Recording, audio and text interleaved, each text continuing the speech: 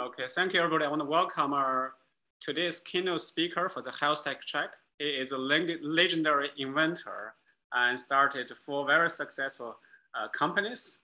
Uh, let's give a big, big welcome to Philippe.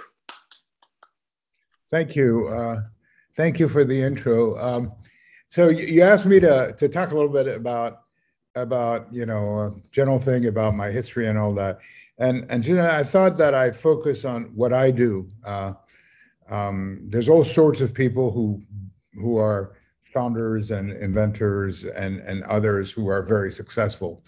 Uh, my uh, my approach is a technology vision and innovation um, uh, to secure core IP and technology. As you may see from my resume, I have 240 uh, issued patents for which I'm the lead inventor, not you know lawyers patenting in my, and and and that's a very important part of what we do is that creation of IP in the companies that I lead, and it's not the only way to build a company. Obviously, you've got. Uh, uh, you know, if you're Netflix, you have a great idea of, of uh, you know, stream streaming uh, videos or first shipping CDs or DVDs, and and and that's a marketing thing, and you can test it and you can develop your idea and all that. But my my approach has always been to focus on core technology, whether it's programming languages, and in this case, for the last decade, uh, biosensing, actually AI-powered real-time biosensing, and all its application in the medical space, for example, or in the wellness space. And so that's that that's what I do. And I think through through through the different panelists here, I, I heard, you know, how the importance of data and data is is critical. It's critical for several reasons because, you know, everybody today does AI and, and machine learning. When we started this uh, 10 years ago, nobody was doing AI or machine learning, which was really interesting. You know, a lot of people thought that AI had applied to agriculture. It was something that people, farmers do for artificial insemination of cows. But uh, gradually now everybody knows that AI is artificial intelligence and what you do with AI and how you use data to build models and actually, you know, refine what you do. And so um, data is so important and uh, creating a, a, differentiated and defensible technology platform is, is, kind of the number one focus that I've always had in the four companies that I built. Um, of course, the challenges are different. Um, the challenges are, are quite different um, if you start that way, because then you have to figure out what the go-to-market strategy is.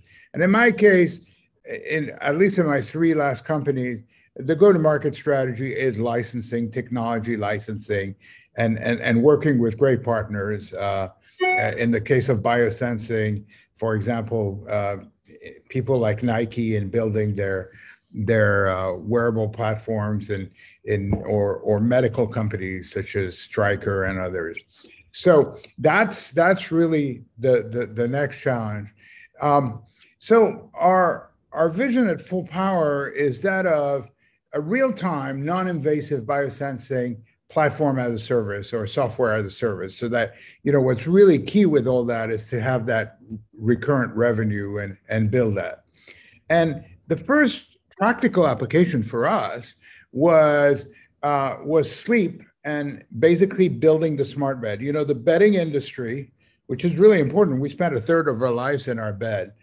Um, um, is going from bed to smart bed, just like the phone industry went from phone to smartphone, et cetera, et cetera. And so that paradigm shift is allowing, at least at the high end, to create new opportunities.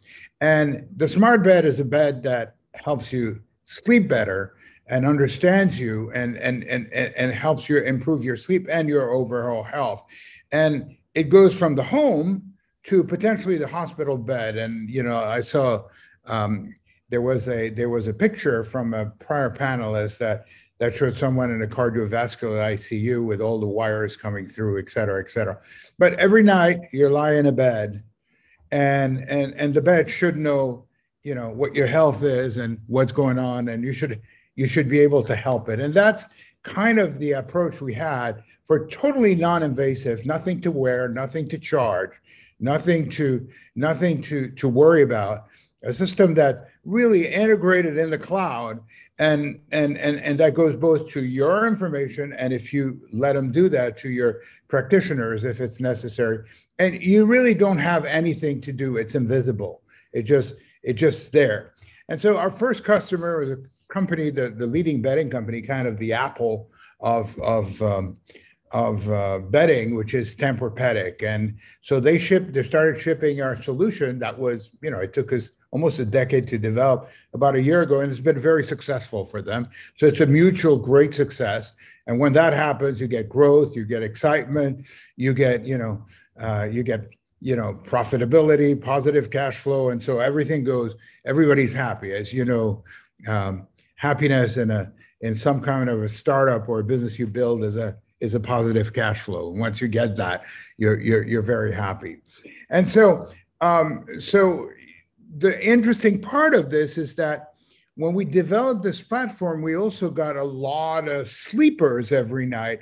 And we developed this, this data set that includes now over 250 million nights of sleep that are very accurately recorded nights of sleep that are commensurate to gold standard medical polysomnography. And so, with that data, it opens up a whole new world of what we can do with that data and how we can help people, but how we can build new applications. So, I'm going to share my screen to show you some of the very recent. Uh, very recent infographics that we developed with that data, which which I think you you might relate to. You know, we all sleep, and everybody's got a sleeping problem. When you go to a, a, dinner party or anywhere and you tell, "Oh, I know something about sleep," what they understand you do, everybody says, "Oh, my sleep, I can't fall, I can't fall asleep, I can't do this. I wake up in the middle of the night, I wake up three times. Uh, you know, I can't go back to sleep." Everybody's got a sleep problem, and or, or and and that's a sleep opportunity. When you're obviously when you build technology, every problem becomes an opportunity. So here, um, here I'm going to share my screen try to. Um, so let's see. I'm going to get this guy here. Okay, can you guys see that? Is, is that being shared right now? Yes. Say yes. Okay. Just give me a thumbs up. So, so what happens with, so this is, for example, over the last three years, we looked at tens of thousands of nightly sleepers and find out what happens, you know, every weekend with their REM sleep, which is really important for recovery, and their heart rate. You're talking about heart rate, and and uh, again, they don't have anything to wear. They just lie in their bed, and we pick that up uh, automatically. And what we find is that so little peaks you see are our weekend peaks. And, you know, that's when we drink a little wine or or go to bed later or whatever. All that has an effect both uh, on the on the yellow uh, side and our, our, our, snoring, and then our ability to to to to manage our heart rate. And you can see that with Thanksgiving, Christmas, and New Year's, it gets worse and worse, or it gets more peaked and peaked every time. And then right after, it gets really good it, that's because uh, you know most people after the holidays have a New Year's resolution. Well, it doesn't seem obvious, but this is really important because it allows us to make predictions. And as you well know, artificial intelligence is about making predictions. And so, of course, we don't have the data for this year because you know we're basically at Thanksgiving, but we know that it's pretty much going to unfold this way. And so we have lots of other data. I'll share my screen in a different uh, way. And of course, all this includes complete privacy uh, and, and, everything else. So let me share a second one. You know, a lot of people say, what happens if your room temperature is, is, is warm or if it's cold or whatever it is? What's going on? So I'll, I'll show you another infographic. Do you see that one? So you could see, uh, if you see that one, I don't know if you see my pointer. Uh, tell me if you see my my my my arrow. So down you have you have a scale that shows cooler and warmer, and then it really shows the impact of all this on on on your REM, and and and and that's really really a very important and the part of the night that you you spend actually sleeping. Because it turns out that when we we're in bed we don't sleep all the time. This is this is based this this particular study is based on 1,750,000 nights of sleep so these are very big studies that haven't been done yet um, in, in, in, in the medical industry or in the sleep industry. No one has that data. And, and, and because we're a cloud-based system and, and we've been operating that 24 seven uh, for, for now several years. And so we're working with, with you know, medical uh, organization like uh, Stanford uh, Medical Research, who, who loves the data that we have and what we have, to actually build all these infographics. You could see a lot, a gallery of these infographics at sleeptracker-ai.com, and that will show you all sorts of information about your apnea, about your snoring, et cetera, et cetera. And that's just what we do with the data that we inherit from building that technology platform. So I'm going to stop sharing my screen right now. Okay, so I'm back here. So because sleep is so important to all of us, it, it, it, it's really. And because it's a third of our lives, we spend a third of our lives sleeping, but we don't know much about sleep. In fact, you know, when I when I give a speech to a very large a, a very large conference, we don't do those these days uh, with COVID. But yeah, I always ask, who sleep? What, who slept too much last last night? And usually there's always one smart person who says, you know, yeah, I slept too much. Everybody else says, no, I wish I had slept more. I mean, sleep is a predictor of your performance from uh, the moment you get up to the moment you go back to bed for the next to the next uh, to the next night. Uh, both your performance in terms of physical activity, if you're if you work out, uh, mental acuity, you know how how you know do you play a better chess game if you sleep well or not? And and of course your emotional capability because sleep uh, lack of sleep and stress are connected together and it's kind of the thing. So that is the first application that we we we build with our um, interactive real-time uh, ai powered biosensing platform it took a lot of work you know that we're our company, uh, we are all basically people who are scientists and and and and have doctoral specialties in in, in different key components of, of of the technology that we build. And and it allows us to to really create an edge and something new that nobody had done. And thanks to a, a, a excellent partnership strategic partnership with a uh, Tempur-Pedic, the, the leading embedding, we're able to actually move this into the medical space from the wellness space, which is you know what Tempur-Pedic does. Um, it's a fantastic opportunity because sleep is tied to a lot of um, a lot of uh, conditions, including diabetes, high blood pressure, stroke, um, uh, cardiovascular conditions they're all come with signposts that you can pick up and sleep. In fact, through our history, we have some interesting situations where we even had uh, people, you know, we have so many users, you know, over 100,000 nightly users. Um, we have people die in their sleep. And if you have someone die in their sleep out of them, you, you go, you, nobody knows why they died, but we, we know because all their vital signs, including the moment of their, their death and afterwards, because it takes a while, a while for things to unwind, are there. And so we, we have a fantastic data opportunity to build many other um, applications like uh, discovering diabetes, pre-diabetes, changing over time um, of your health conditions because sleep changes over time as you get older it becomes different. That's been our our whole focus. So my passion is really technology um, innovation and invention and and and building uh, what makes sense. And i tend to focus on one thing at a time as opposed to you know some people do a lot of things.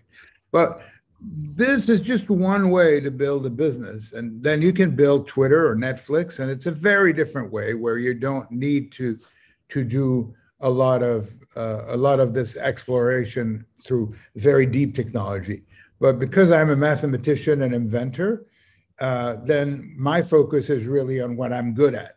And what I've learned through the years is that focus is everything. Is like is like distractions are, are, are the worst thing that happens, and focus and perseverance. So that's kind of my intro, David. And I don't know if you have any questions or or remarks or whatever. Okay, sounds great. Thank you, uh, uh thank you, Philippe. I learned a lot about uh, sleep today. Actually, I have a oriental medicine doctor. He's my uh, acupuncture practitioner. Uh, he told me that uh, in one of his speech, that the number one impact to people's human health, other than gene, is sleep.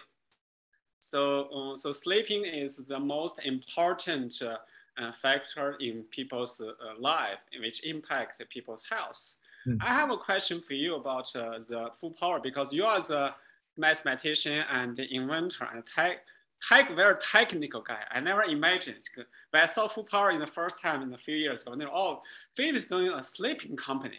So maybe you can tell us uh, in the long run. Let's just give another few years. What do you see uh, Fullpower's um, product looks like?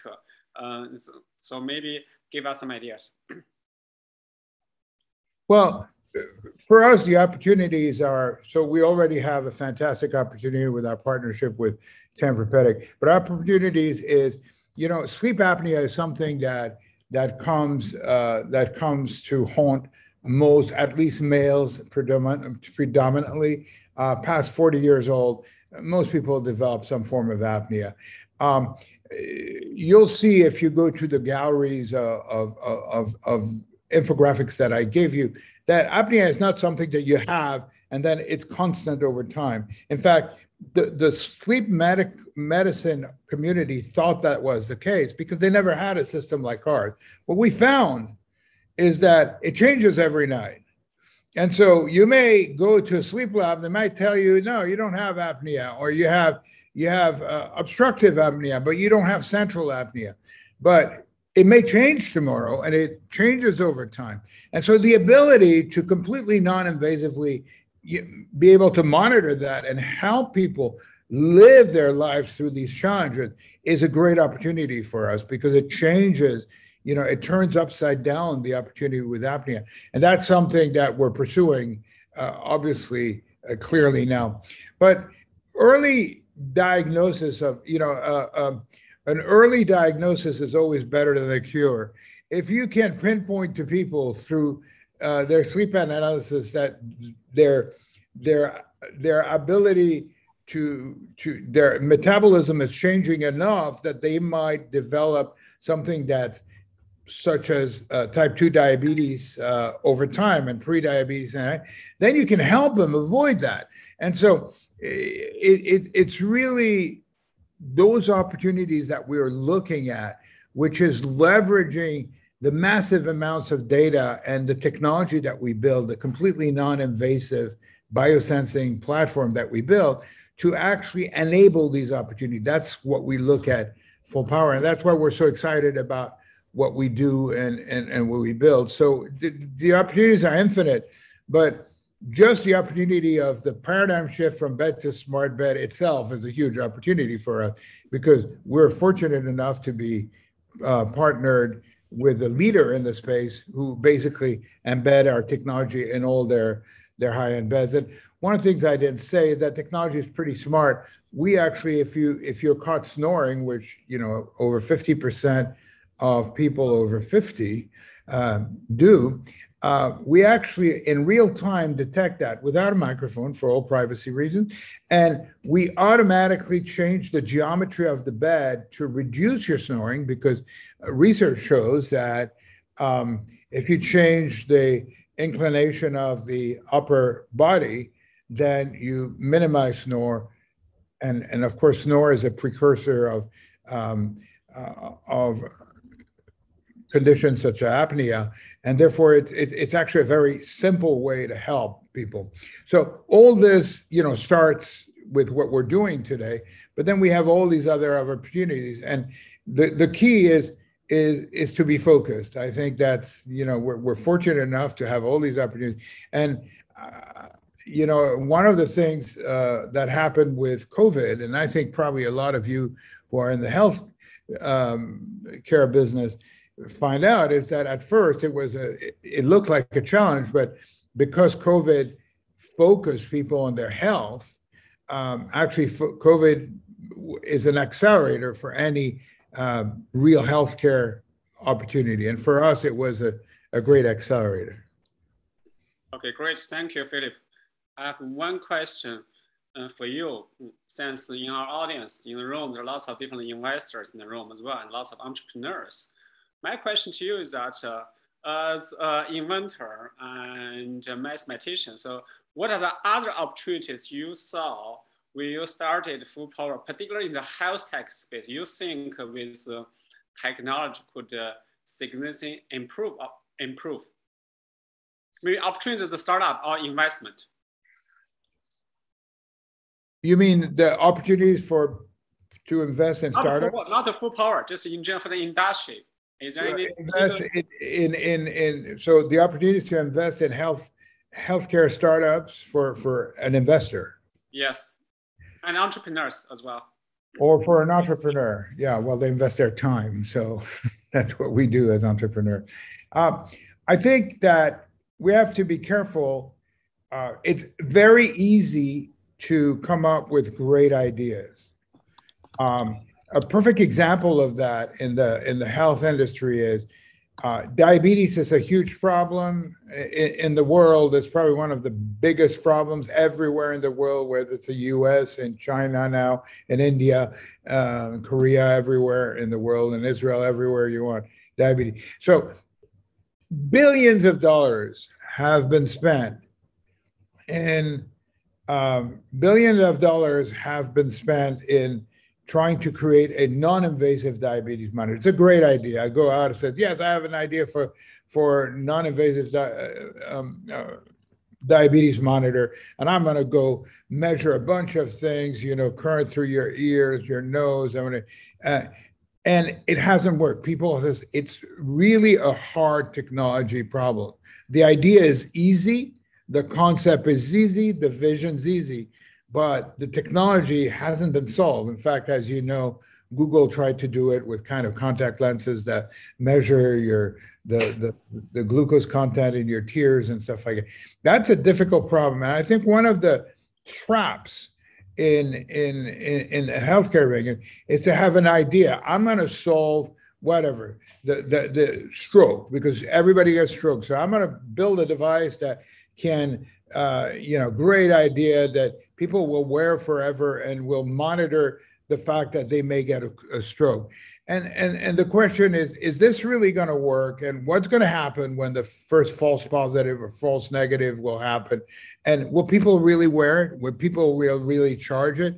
How invasive is it? How does it work? And in fact, in the case of diabetes, to close the circle, you'll find that um, a lot of these, uh, a lot of these uh, new glucose monitors, uh, like the Dexcom and all that, well, they're invasive in the way that you have to you have to put something in your arm in your body and it kind of measures it and you have to change it every couple weeks and once in a while you get an infection and uh, you get people who use it. it it it's great but it's challenging and so i think the biggest challenge in in, in healthcare is is is that it's very easy to have a vision to to, to cure cancer or do whatever it is. It's much harder to turn it into a real problem. And so the opportunities are really to look at things that are realistic to build and that are going to work in, in, in what way. And so one of the one of the challenges that people have is that is that um, the world is not ready to have all these invasive things that the people will wear on their ankle, on their uh, in their pocket, or whatever it is. Uh, people already have, you know, a smartphone, already have potentially an Apple Watch or a Samsung Watch, um, um, and and it's hard to tell in a meaningful way of people to wear more things. So, I think that the future of, of healthcare in terms of helping um, everyone is, is really to create invisible technology that delivers that.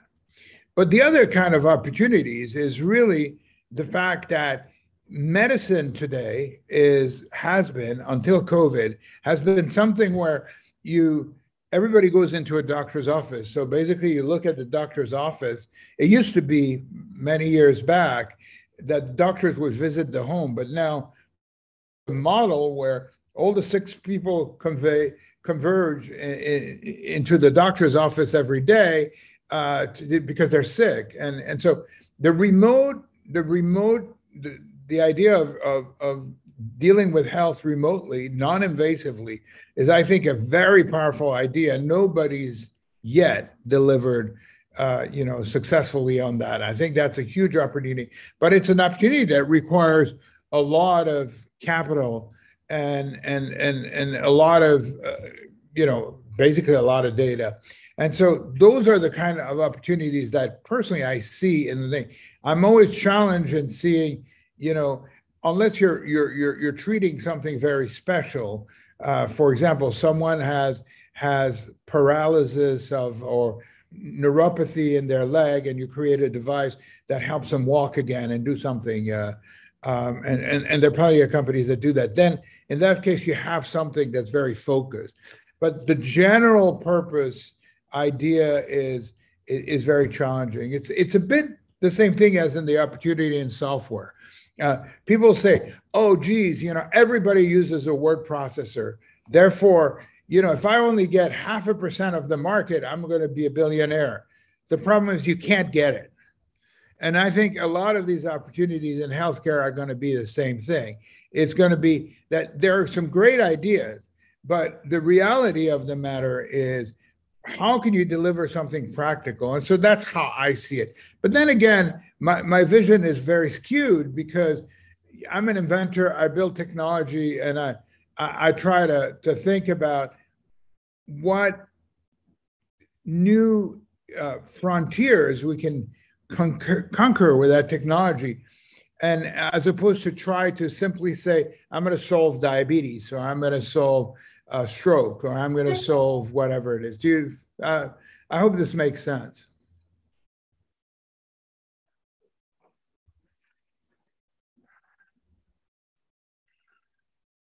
We can't hear you. You have successfully sold three companies. LightSurf sold for 200, a couple 200 million dollar, more than 200 million dollar company. That's 15, 20 years ago. More, that's more than 20, $2 billion companies for, for sold today. So one question I'm curious that uh, why you become a, not become an investor and start a, instead starting a new company? Have you thought about uh, uh, support more entrepreneurs or do you still prefer being hands-on to do the work? Ah, uh, the, the reason is very simple. I love what I do. I like building things. I like technology. I I'm I actually write code and I I'm part of of the invention and the then I work. I love doing that. That's what I do. And and and so it's hard to do. You know, you become an investor in company alpha or beta or delta or gamma and and you go and talk to the guy says hey you know have you checked you know how you guys are? I, I don't want to do that which is kind of what i do which is look at you know uh, work with the technology architecture and all that. And that's what my passion and i i that's what i want to spend my time on. But then again you know uh, I, I do mentor people uh, i do mentor people who who who are doing an interesting thing. But my I think for me, focus is is, is everything. Focus, perseverance, and and and patience. I think they're everything, and of course, assembling a great team. But I think I don't want to defocus myself from what I do. When the moment I I I, I get up, I think, okay, what am I going to do today to improve what we do? And when I go to bed, is is what did I do today to improve what we do?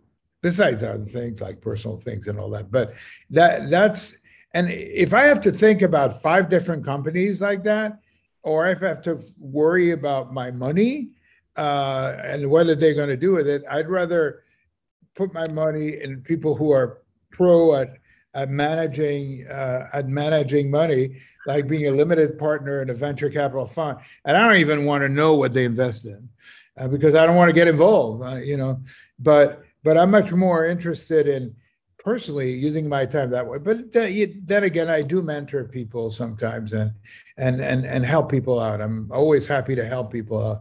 But myself getting directly involved, I just avoid board positions and all that stuff because I I, I just don't have the time and the focus. I'm just focused on the success of Fullpower AI and our Sleep Tracker AI platform.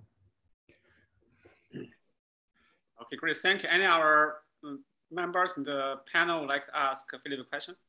I think his time, time is limited. Maybe one quick question. Just Philippe, is the platform available or will it be available in the future beyond Tempur-Pedic or is it exclusive to them forever? Um, uh, nothing is forever. Maybe herpes, but uh, besides besides that, I mean, nothing is nothing's really forever. Um, but for sure, we we we have an agreement with them. We operate this platform as a platform as a service, and as so we we operate the whole system and and and, and design the hardware and, and do all that. And so for the next about six years, uh, for sure, you know, it's a it's a very exclusive relationship between both companies. Uh, however, that's for the wellness market uh, and the bedding market, but in the medical market, we we, we work with many many many partners. Thank you. I have one question uh, so this is Maithili. Hi, thank you for a great presentation and thank you for giving us all the information on sleep. I'm very curious because I come from an R&D background about the whole problem of just having a smart bed and not having any sensors that the person wears, uh, but probably still being able to monitor like sleep apnea and the sleep patterns. So anything you can tell us about really uh, uh, you are able to share with some kind of cool things that you did in hardware and software for that, that would be awesome. Yes, absolutely. So our system is a cloud edge cooperative processing system where the models are run part on the cloud and part on the edge. And so uh, in the in the development process of the system, uh, we started in 2014 to operate two full medical polysomnography labs with uh, with um, medical technicians that and and and collect information and and try to understand what was going on and basically uh, create all that labeled data that we had to create our initial models and then we experimented um, with building sensors that could work with any bed and any mattress under any mattress. So, so basically, can you actually, you know, you have a, a, a um, 10 centimeter uh, thick mattress or a, a, a 40 centimeter mattress made out of springs. Can you can the AI figure it out what we are doing, and can the AI differentiate, for example, what happens with two sleepers? It turns out that um, it turns out that two beds out of three have two sleepers and sometimes more when they have pets and kids that come in. So we said can we solve that problem? It's a very difficult problem because if you're trying to monitor people's heart rates and and and and, and motion et cetera you know how do you how do you separate the signals? And if you try to if you try to solve that problem from a classic signal processing approach, it's a very difficult problem to solve and probably impossible. But so we developed using polysomnography labs over two sleepers, which nobody had done because all the sleep labs is only a one sleeper thing. So we spent a lot of time uh, and, and, and energy building all these models and, and, and that label data and make sure that it's accurately labeled. And then through the development process, we understood what we needed to build at the um, bed sensor level as well as in the cloud and how the real-time processing of the data would happen. And that's part of uh, an iterative process of creating models, moving the model, splitting the model, and using the the big data set that we're building to continually improve the algorithm so that at the end you have something that's commensurate with gold standard polysomnography. Awesome. Thank you. Must be a lot of fun. Yeah, it is a lot of fun. okay, great. Uh, I know, uh, Phillips, your time is very precious and really appreciate all your uh, information sharings. Uh, and I really hope one day you can give our uh, um, winners a little bit time to, uh, to meet them. But again, thank you for your time and wish Fullpower to have a great success. Look forward to see you when I come back to Palo Alto. Uh, thank you for having us and uh, great presentation everywhere. I was, uh, everyone, I was, I was listening